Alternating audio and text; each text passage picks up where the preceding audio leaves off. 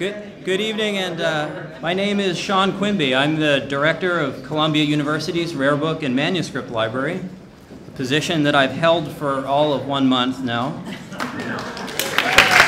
Thank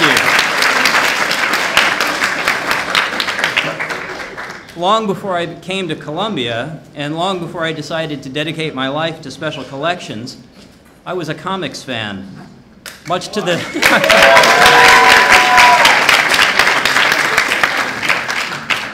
much to the disappointment of my highbrow, opera loving parents.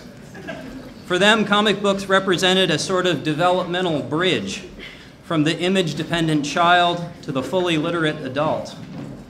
But by the time I was 13, my father was quite certain that there was something wrong with me. But that was precisely the point in time that I needed comic books the most. At some point in the mid 1980s, I purchased my first graphic novel, God Loves, Man Kills by Chris Claremont and Brent Eric Anderson, which I have bought with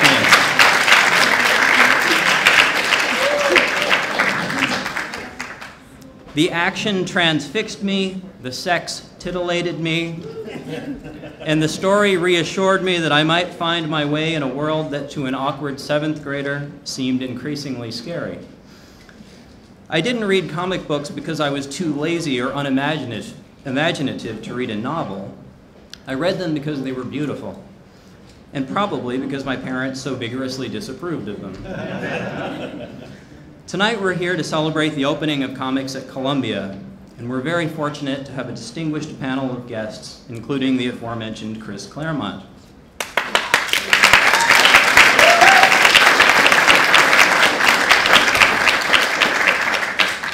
At the conclusion of remarks, we'll head to the sixth floor gallery. As you walk through the exhibition, you'll find comics that are beautiful and comics that I expect you, or at least your parents, would disapprove of. Now I'm going to turn things over to Karen Green, the curator of comics at Columbia and the person responsible for building our world-class collection. She is also, by the way, the ancient and medieval history and religion librarian. Many of you already know her. I am just getting to know her.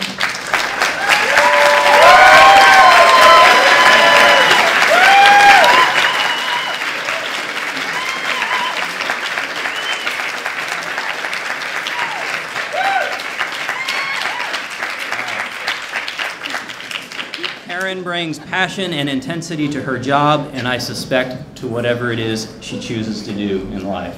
Karen.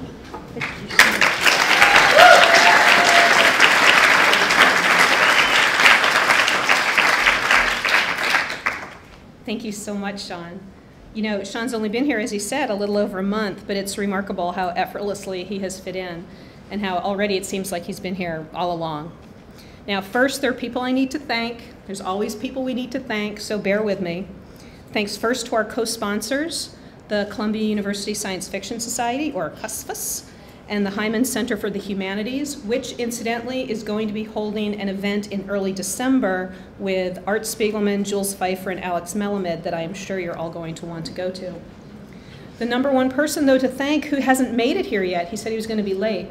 Uh, the number one person to thank, without whom none of us would be here tonight, is Michael Ryan, the former director of the Rare Book and Manuscript Library, or RBML, who was supportive and enthusiastic when I first approached him with the idea of collecting comics creators' archives and committed RBML to supporting uh, one event per semester. I'd also like to thank someone else I don't see in the audience, which is sad, uh, Columbia alumnus Michael Lustig, uh, who first had the idea. This was, the whole thing, whole exhibition was his idea. Uh, he thought it would be a way to, as Nuke LaLoosh said in Bull Durham, announce our presence with authority. Um, thanks especially go to my director, my own director, Barbara Rockenbach, and to all colleagues in the History and Humanity Division who have displayed the patience and understanding of saints as I have blown off responsibility after responsibility in the last few months as I immersed myself in this exhibition. Thanks to Matt Hampel for his logistical planning, and especially to Allison Morrow for her, for her unbelievably thorough logistical planning. She is a, a dervish of marketing and organization. Don't any of you dare to hire her away from us. Thanks to Vasare Ristonis and Georgia Southworth of Alexis Hagadorn's remarkable conservation lab, who mended tears, cleaned extraneous dirt, created mounts, and generally gave the 165 or so pieces in this exhibition all the TLC that they deserve. I didn't know a thing about archives when I began this initiative in 2010, so I'd like to thank RBML curators, former curator Gerald Cloud, current curator Karla Nielsen, uh, for their generous counsel. Thanks also to Carrie Hintz, our head of archives processing, who has gone out of her way to make our archives accessible to an eager public, often before any formal processing has occurred. I didn't know a thing about curating exhibitions either. Um, so thanks to Assistant University Archivist Jocelyn Wilk, who pointed me to amazing materials in Columbia's own archives, the university's own archives, including the 18th century comic strip uh, that you see featured on our exhibition poster. And thanks also to Jane Siegel, our curator of rare books, who cheerfully gave her time to help me navigate the labyrinthine stacks of the rare book library.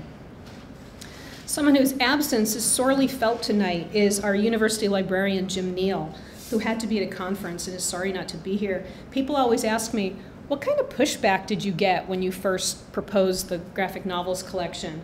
And they're surprised when I say that not only did I not get pushback, but I got unequivocal and, and enthusiastic support. Jim has been an unfailing booster, and I'm so very grateful. And finally, Jenny Lee, Jenny Lee, our Curator of Performing Arts and Exhibition Coordinator, I cannot even begin to describe the indefatigable cheerleading and selfless assistance Jenny has provided me. If it had been up to me to lay out the cases upstairs, I can tell you that everything would still be in piles on a table while I lay curled in fetal position underneath it, weeping softly. And of course, thanks to all of you for coming tonight. Oh my gosh, I'm so excited you're here.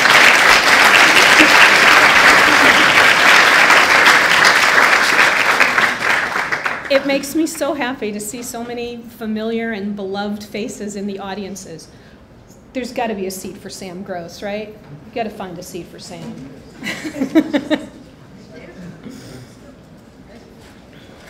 so, how did all this happen? In part because of my fervent and unshaking belief that the comics medium, this unique combination of words and images that is so much greater than the sum of its parts, is worthy of academic study. Our circulating graphic novels collection, which we initiated in 2005, has gone from three titles to over 4,300 titles and is used by a wide variety of disciplines uh, in a wide variety of ways, including the first course dedicated to the American graphic novel.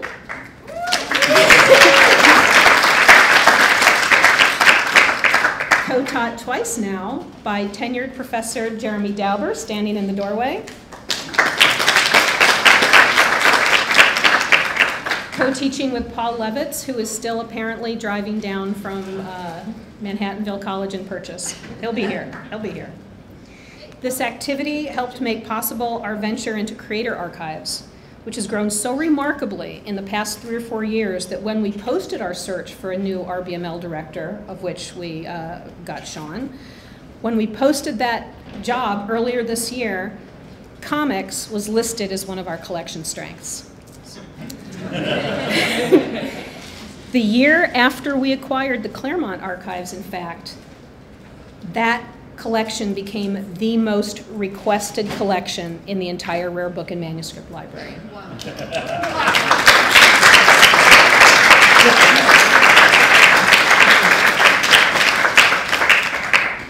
One of the things I love so much about libraries, there's so much to love, but one of the things I love so much is that our philosophy, our core philosophy, is grounded in organization, preservation, and access not to trash talk museums. I love museums, and two out of three ain't bad. but generally, a visitor sees no more than about 10% of a museum's collection, and the rest is stored away where very, very few people can find it. But our rare book and manuscript library is open to the global community of scholars. Anyone can create a research account, come and request something, and it will be brought to them. This keeps the legacy of our creators alive. And as an archive, we collect so much more than just original art. Although, believe me, we're not averse to original art. uh, we collect correspondence, contracts, uh, rough sketches, drafts, the sorts of materials that reveal the process behind the finished product. There are no materials. Nope, sorry, that is not what I wrote. These are the materials. These are the materials that bring a creator's career into focus and provide context. And speaking of those creators, I'm about to introduce Chris Claremont, the cornerstone and primum mobile for our archives, who started it all in 2011, in 2010. Because I wanted everyone in the show to have a chance to talk, we're going to do this thing called a, we're going to do a modified version of this thing that my boss told me about called a pecha kucha. Has anybody heard of that? But instead of 20 slides in 20 seconds, which just is insane, uh, we're going to have uh, two slides in five minutes. So everyone has a chance to say a little something. I'm just waving at people, I'm so happy. Everyone has a chance to say a little something, and the audience will know some of the faces that might be less familiar. So be sure to go up to them at the reception and give them some love. But now, I would introduce to you writer Chris Claremont.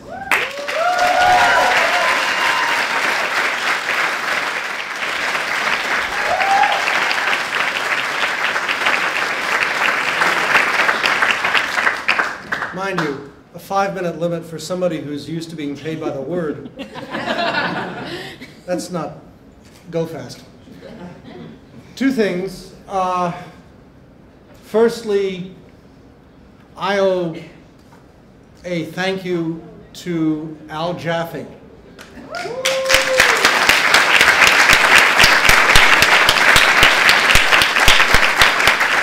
Many years ago, and some of you may know this story, but if you don't, here it is. Uh, I went to an offshoot of Columbia University called Bard College.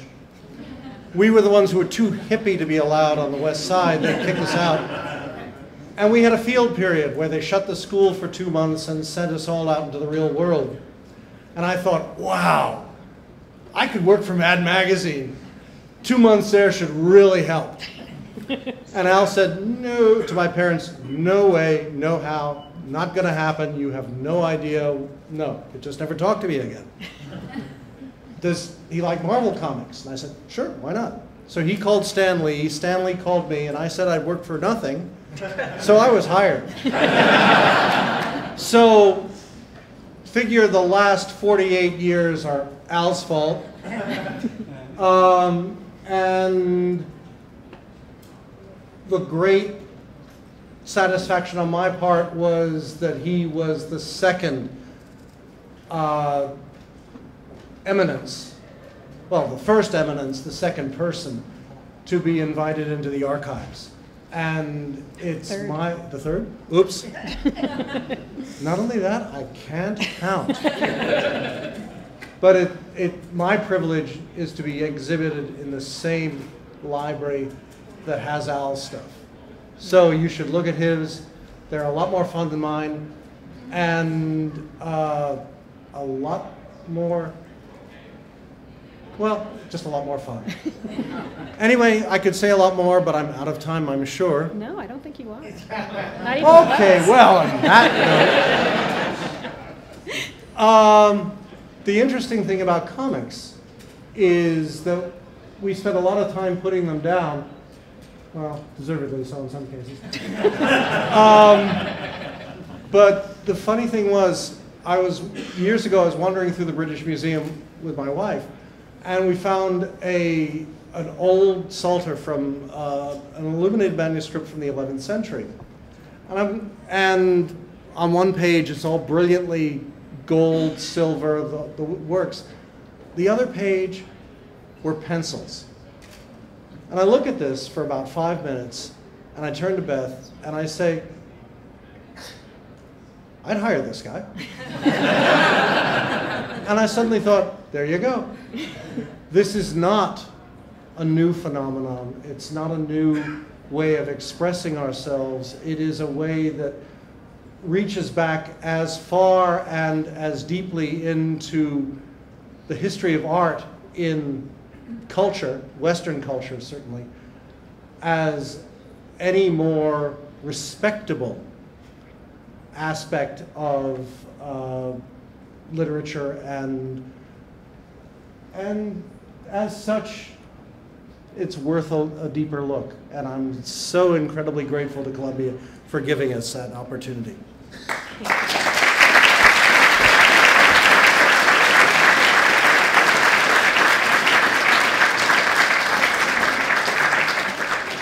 You're up, Al.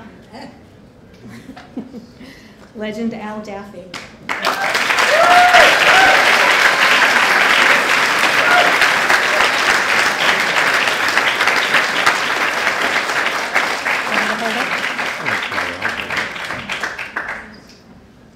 Well, I, I have to thank Chris for being so gracious, uh, but above all, I have to thank Karen for inviting me into this program.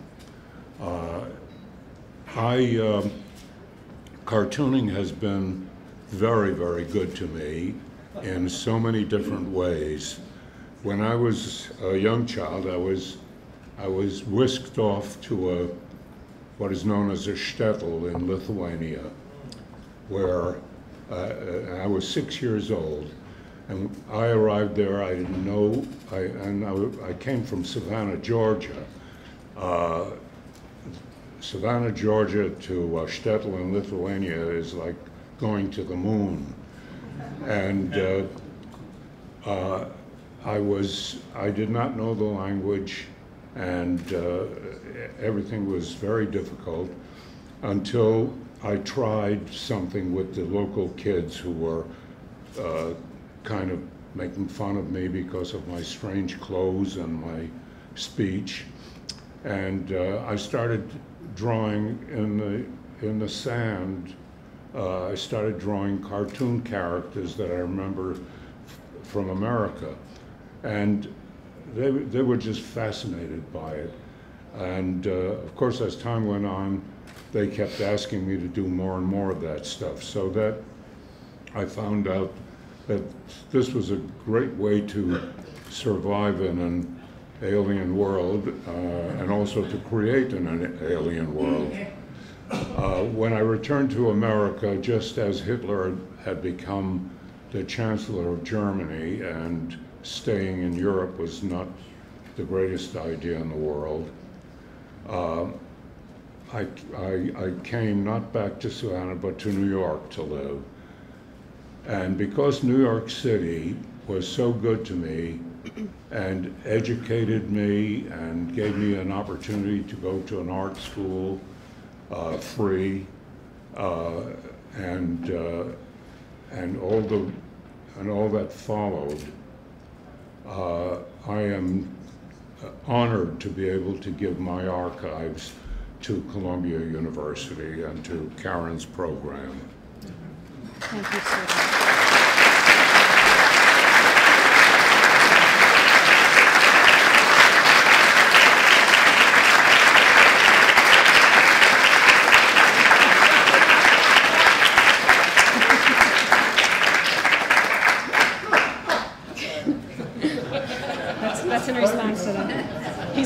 funny man. the team of Wendy and Richard Pini. Yeah.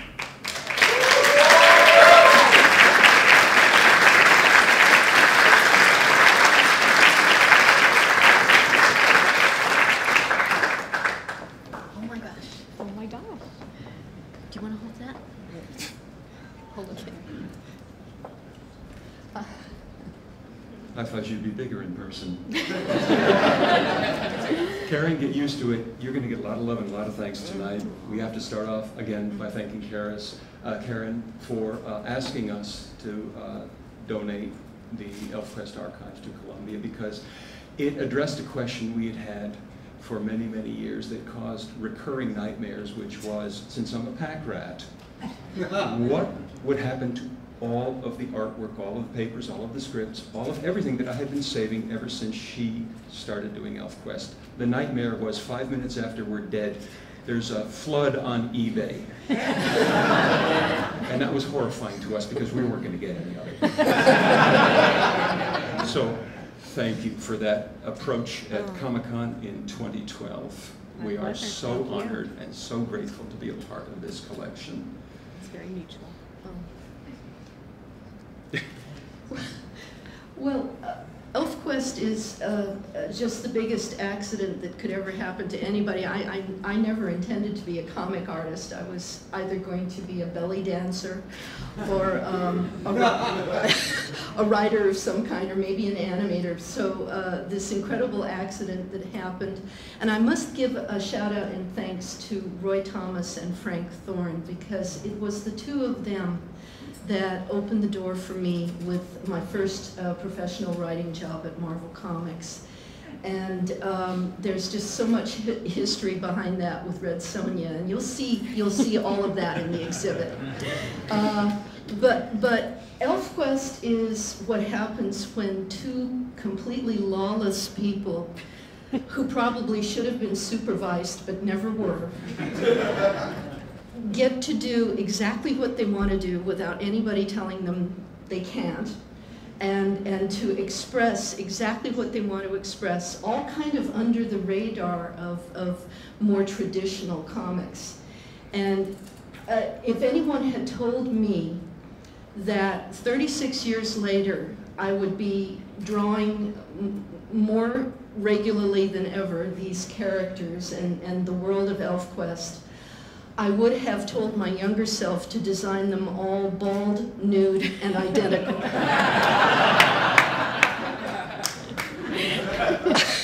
what you will not ever find, well, I shouldn't say never, but what you won't find in tonight's exhibition is some of the things that Wendy says that I hear when she's drawing these characters that she did not design all bald, nude, and what was the other one? Because Identical. identical. Uh, the hair and the costumes and the attention to detail that she gives not only to the artwork but to the storytelling that I am privileged to work with uh, is just incredible. Um, as some of you may know, we are on the next big chapter of ElfQuest called Final Quest, and we are nurturing seeds that we planted 35 years ago. And that's so incredibly satisfying that when we reach the end of this story, we're going to see what fruit those seeds will bear. And then everything that we have done vis-a-vis ElfQuest is going to be right here for the future. I mean, the reason I'm a pack rat, I'm, I'm convinced, is that her work is just that good that I wanted people 50, 100, 200 years from now to be able to study it. And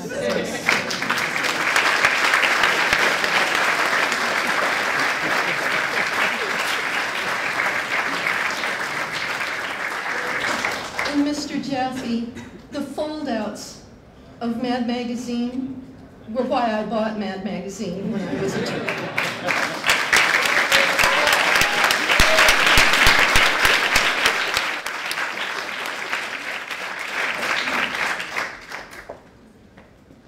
Cartoonist and illustrator Andrea Tsurumi.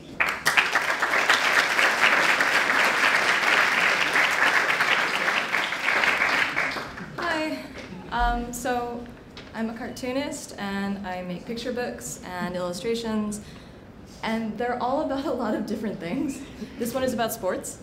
Obviously. Um, so what, what's common to all of them is the idea of looking at normal life and finding what makes it weird and hilarious. And life is weird and hilarious, and that sending that up, that part of life up, is this long human tradition of uh, a proud uh, history of wise asses going back to monks drawing homicidal rabbits in the margins of, of uh, manuscripts to those rude students in 1766 uh, to these amazing cartoonists that I've grown up looking up to my entire life. Uh, so it's, it's an incredible honor to be included in a collection with people whose work I have loved and admired for so long. Um, and it's an especial honor to be in, not only in a library, but in this library. Um, li when I was growing up, comics weren't, they were starting to get into mainstream bookstores, so libraries were the first places that I found them, and they introduced me to Charles Addams and to Jules Feiffer and to all kinds of people, and they just kind of fed me, and I just ate them. And Butler Library was the first like mega research library I'd ever been introduced to, because 16 years ago, my mom used to bring me here when she was researching her doctorate, and I would research my school papers at the same time. um, so it's just insane that my uh, odd interpretation of bra shopping is going to be a resource for future future students. But from someone who knows what a treasure it is to have a library, um, what bounty it is, how that stuff accessible to you. I am so happy that this place exists and that it is growing and that is going is making and is going to make students just so incredibly happy. So thank you, Karen.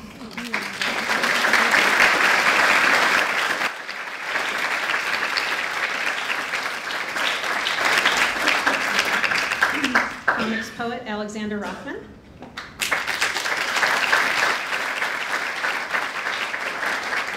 Hi, everyone. My name is Alexander Rothman. Uh, what an honor it is to be part of this exhibition, and uh, it is humbling and or uh, intimidating to be talking to. uh, oh, thanks. humbling and or intimidating to be talking to everyone assembled here. So I make comics poetry. My work uh, hybridizes those two forms. And I just want to talk uh, very briefly about what that means because uh, basically nobody knows what that means, and uh, about the, the journal that I edit with some people called Inkbrick.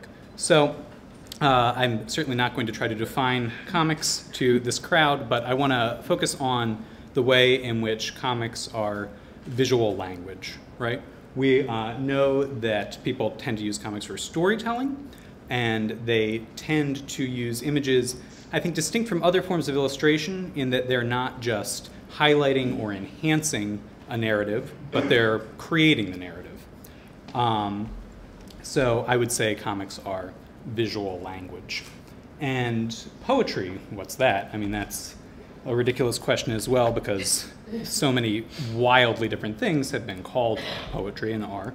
Um, but I would say that poetry is an art form where the medium is language, right? It's language as language. And it's distinct from other things uh, like prose in that you can, I think, have a successful novel where. Oh, what just happened? Oh, somebody hit the, the switch. You can have a successful novel where the writing isn't very good. It can be rescued by plot or characterization or things like that. And anybody who's ever used a university library knows that you can have a brilliant academic treatise or book that is just monstrously poorly written. I would argue that you can't have a poem that succeeds where the writing doesn't succeed. Uh, I think poetry can use characterization, plot, uh, logical progression of ideas, all those things, but it doesn't have to. And it can dig even deeper into the kind of toolbox of language to use the sounds of words uh, individually, uh, through assonance or alliteration, things like that, blank space on the page, the sounds of words in sequence through rhythm, all of these wonderful extra dimensions of language that it can draw upon for its art. So you have comics as visual language, and you have poetry as a form that just wrings every drop of artistic potential out of language. So uh, the work that I try to do and that the journal Inkbrick that I edit uh, is trying to do asks the question, what happens when you turn that visual language toward poetry, toward the extra dimensions? All right, I'm about to run out of time. Um, I will say one last thing, which is that early on in this process, Karen told me about a really wonderful resource here in the Rare Book Collection uh, that was C Comics. There's a, a visual artist named Joe Brainard who worked with a bunch of New York School poets in the 60s to produce these mimeographed anthologies. They're wonderful. You should check them out.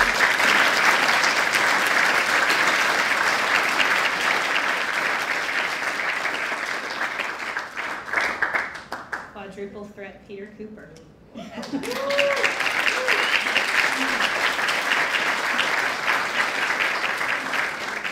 We'll just swallow this and talk into it. Oh, that would be nice. We could get Um, your So for starters, I'm just, I'm just doing what everybody in here wants to do, so. Um, no, You cannot say enough about Karen and uh, what she's done to bring, help elevate comics into the position that they're, they've always been in, but to deserve to be, and, you know, that we're happy to see land here. Um, uh, in 1970, when I did my first fanzine, um, which my friend and I called Phanzine, it had a PH, so it was very different fanzine.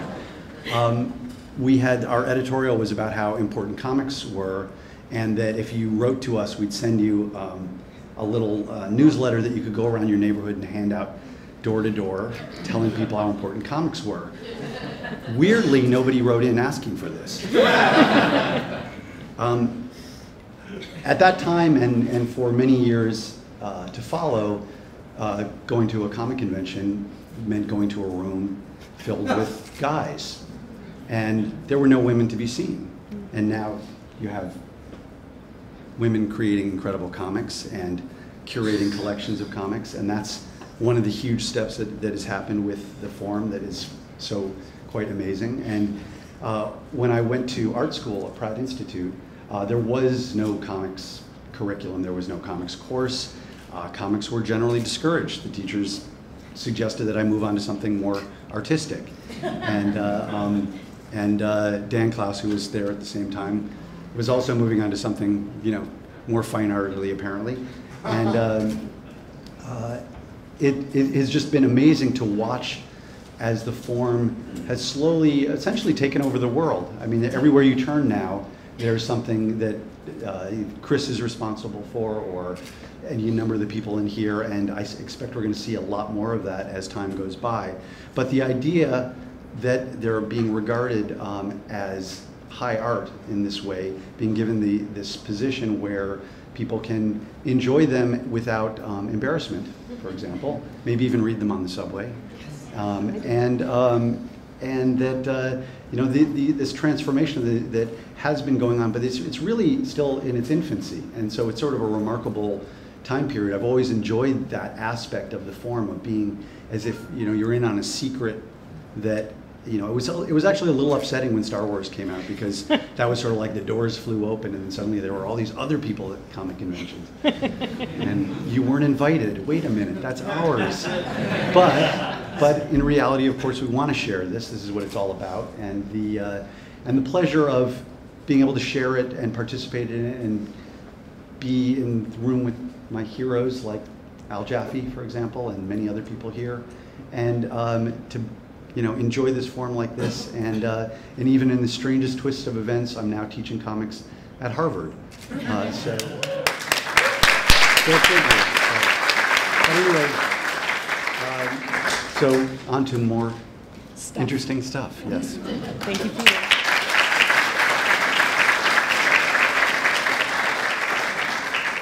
Cartoonist and illustrator Gregory Benton.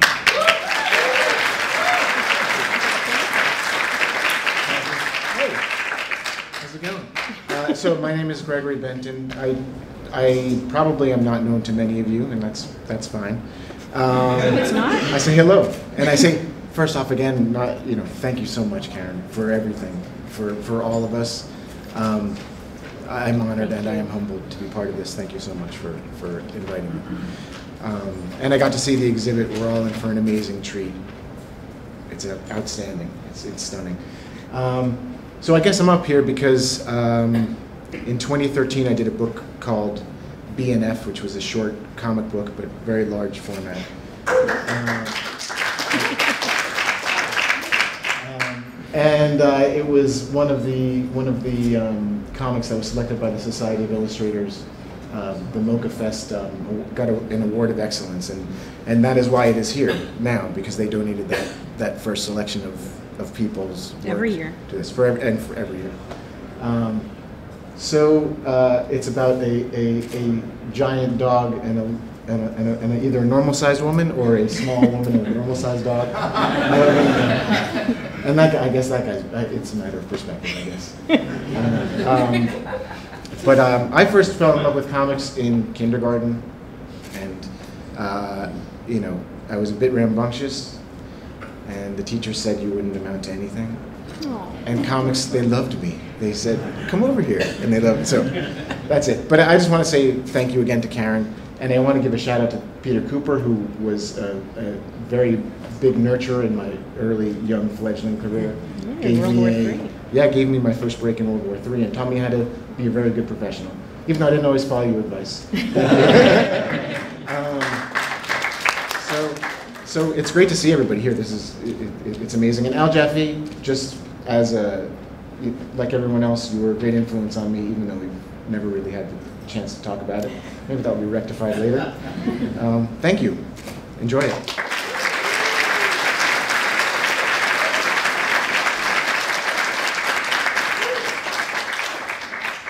Cartooning folklorist Sophia Wiedeman.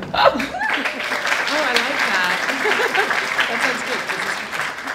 Hi, I'm Sophia Wiedeman. Um, I uh, draw comics. I draw comics that are incredibly difficult to define. People are always like, "Oh, that's so cool! You draw comics. What, what, what, what kind?" And I'm always like, um, uh, so it's incredibly validating that um, that uh, Karen thought that my comics belonged in uh, something like this. Um, especially, you know, for someone who doesn't know how to describe her own work, I have a feeling that a lot of the works uh, that we're going to see tonight fall into that category of um, hard to define comics. Um, it's so exciting that there's somebody like you in, in this world, seriously, um, who has all of the authority of academia behind her and the enthusiasm and warmth and support of a true fan. It's so important. It's, um, it's important to me as, um, uh, as a woman who draws uh, comics for women and, and boys. um, that there is a female authority um, who, I don't know, who just brings uh, a lot of weight. Um, so what we're doing. I put it on the comics um, because this is important, and um, and I'm incredibly honored to be part of it. So thank you so much. Thank you.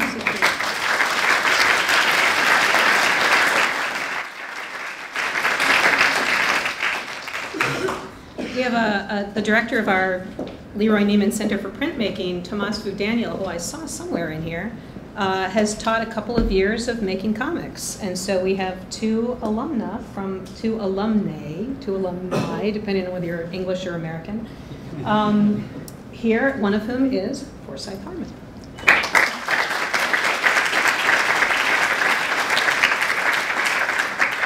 Thank you so much, Karen, for having me. I'm so honored to be among such accomplished company. Um, in the exhibition title, Past, Present, Future, I'm a, part of the future. I'm just getting started here, but very honored to be so.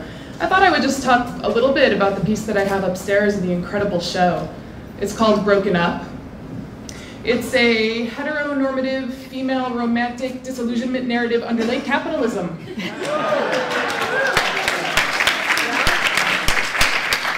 can tell that by the first two pages. we broke up. I bought shit. and I hid my crying eyes behind sunglasses by Illesteva and Thierry Lasry. Uh, I drank from vintage crystal decanters, and uh, I fucked everyone in Agent Provocateur lingerie. Um, it was incredible to be able to work with Tomas Vu at the Leroy Neiman Print Center, just down in Dodge Hall here. Um, there was, uh, there's been a class um, for a few years in a row conducted in, in creating graphic novels, uh, and Karen was also a big part of that, so I'm really grateful to the university. Um, yeah, a little bit about the construction. Um, I did it in multiples in order to mirror the perceived rarity and simultaneous multiplicity of luxury objects, uh, as well as the perceived personal nature but sort of general progression through the stages of grief. Um, I created a case here that evokes a jewel box, and it's got a velvet interior, something like an engagement ring might be given in. and last but not least, what is a luxury object without a brand name? So we branded the box, broken up by Calvin Klein, no Forsyth Harmon. Um, so really, um, I'm just so excited to be getting started and for my beginnings to be validated by someone so knowledgeable as Karen and by everyone in this room. It really gives me a lot of encouragement, which you need when you're starting out so much. Um, so I'm, I'm really, really grateful for that. And uh, I really hope you guys make some visits to the Rare Book and Manuscript Library upstairs. And take a look at all of the bling. It's incredible. uh, wonderful resource. Thank you again.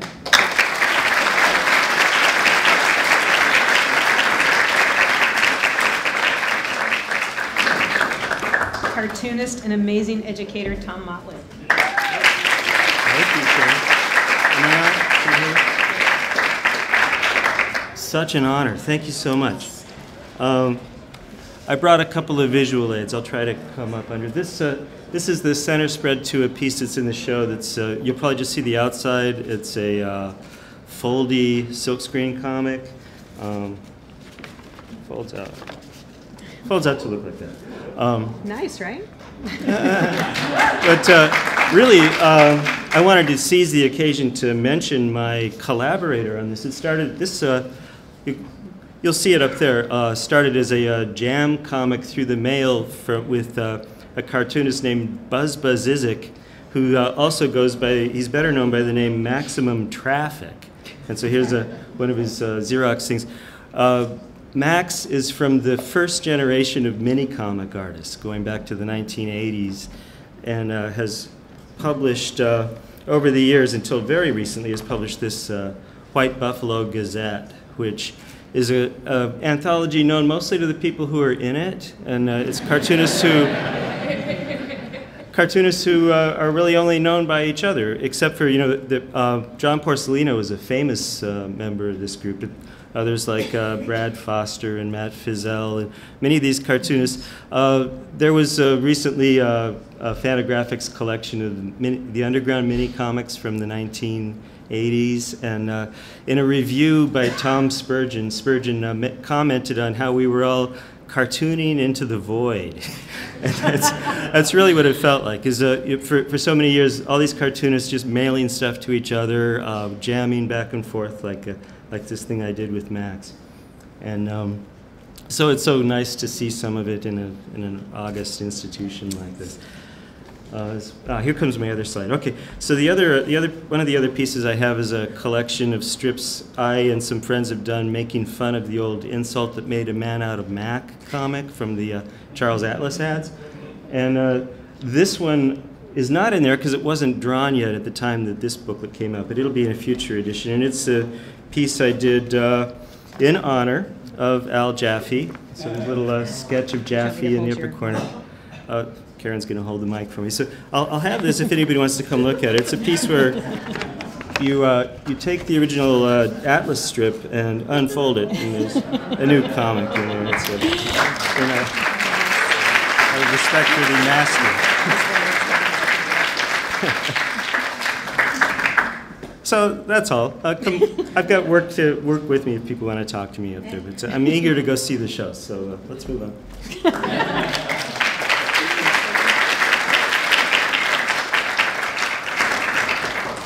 Another Columbia alumna, Ryaki Enyama.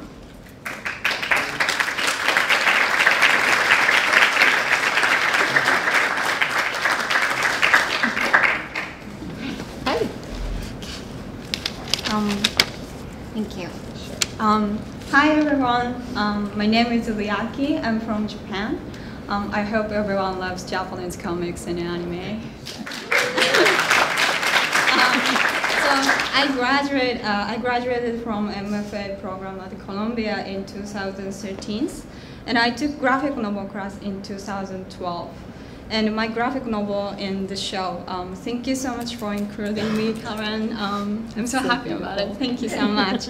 Um, I made a, a, traditional style graphic novel called Emaki, Japanese traditional style uh, graphic novel called Emaki. So this is the um, Emaki. Um, so Emaki is a horizontal hand scroll and it combines both text and the pictures often depicting folk tales, romance, words, and stories, stories of supernatural world. To read Emaki, you need to scroll it yourself uh, by hand, so I will show you. Um, so like this, um, scroll um, by hand. Okay? So. Way. Um, right. Oh, right.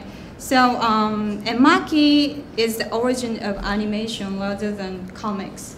The oldest extant Emaki in Japan is from the 7th century, and it's an illustrated scroll, uh, scroll of Buddha's life. Emaki is deeply tied with, uh, with the worldview of Buddhism. There are many Emaki, and not focused on Buddhism necessarily, but there are common features of story of all of them drawn on Emaki.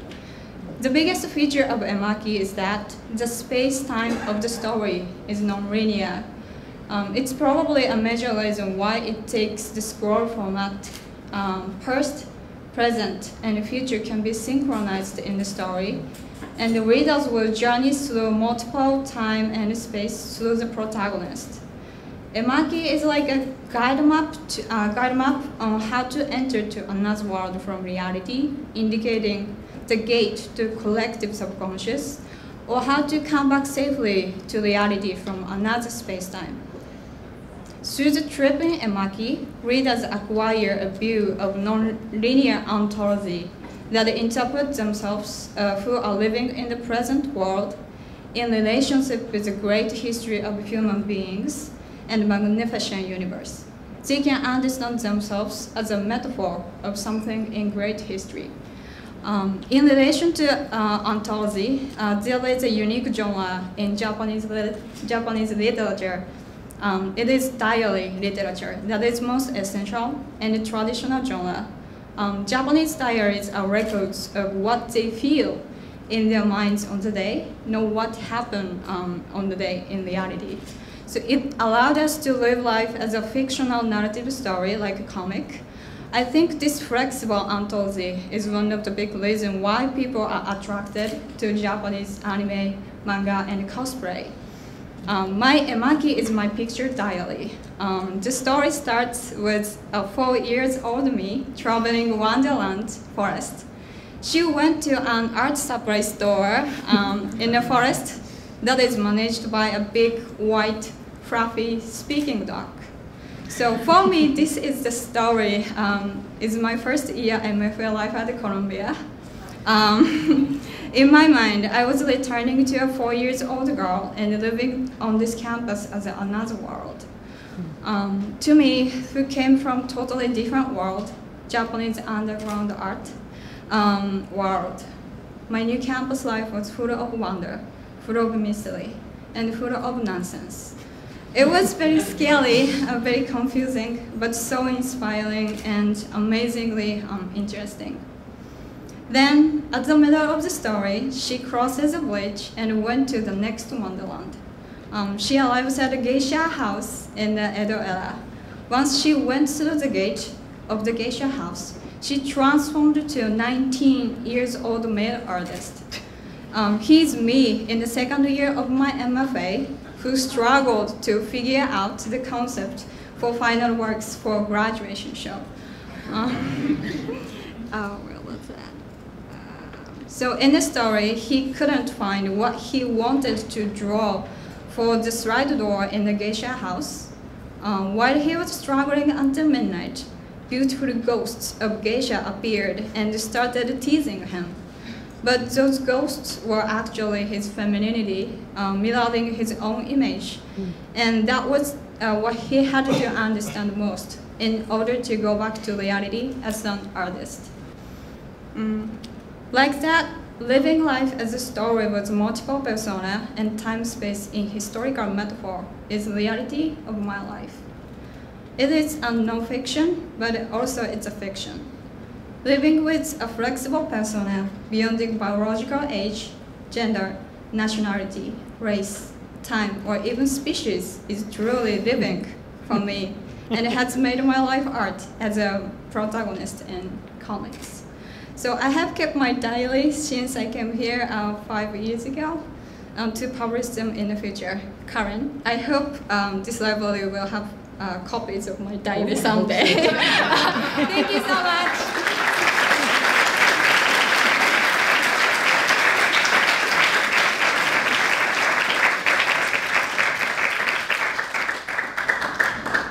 Now, Mac McGill, we're just going to let his images speak for themselves. You're going to see more of uh, his work upstairs. Absolutely so beautiful. So incredibly beautiful.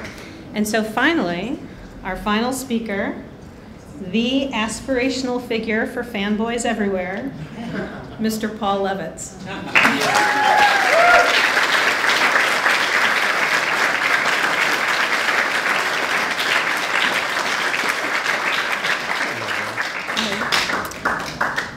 aspirational figure for fanboys. it's really a frightening concept.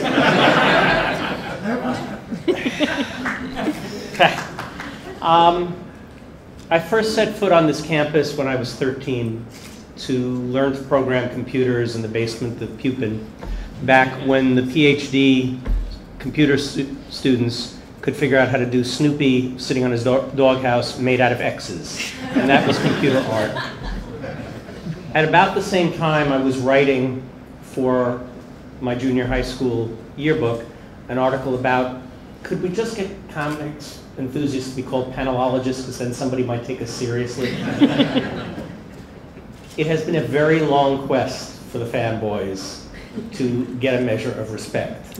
And we are, speaking for the collective universe of them, deeply grateful to have Columbia respect us, treat us this way, treat our materials this way, and to Karen for her Dona Quixote efforts to declare herself graphic novel librarian and take over Butler. You, you have arranged for our whole floor, right? Oh, yeah, yeah, yeah. We got a few things coming in any, any minute now.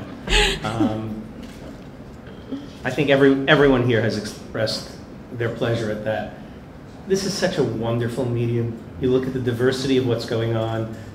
It is growing and exploding at a pace unlike anything that has happened in my lifetime in comics in America. And we probably can fill Butler when we're done.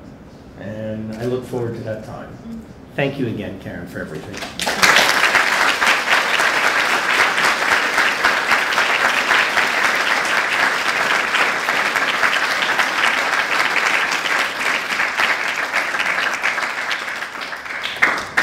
There are a couple of people missing tonight, sadly. Uh, Jens Robinson was hoping to be here, but sadly, as many of you may know, his mother, Gro, passed away last month, um, and that affected his plans. But I did want to say a word about his father, Jerry Robinson. yes, applause Jerry Robinson. Thank you. We've had a couple of alumni speak already.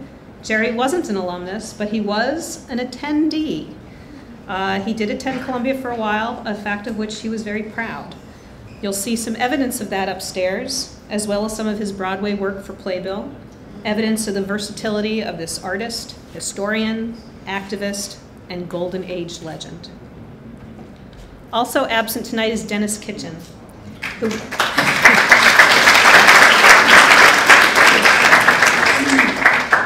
who wisely felt that becoming a grandfather was more important than being here.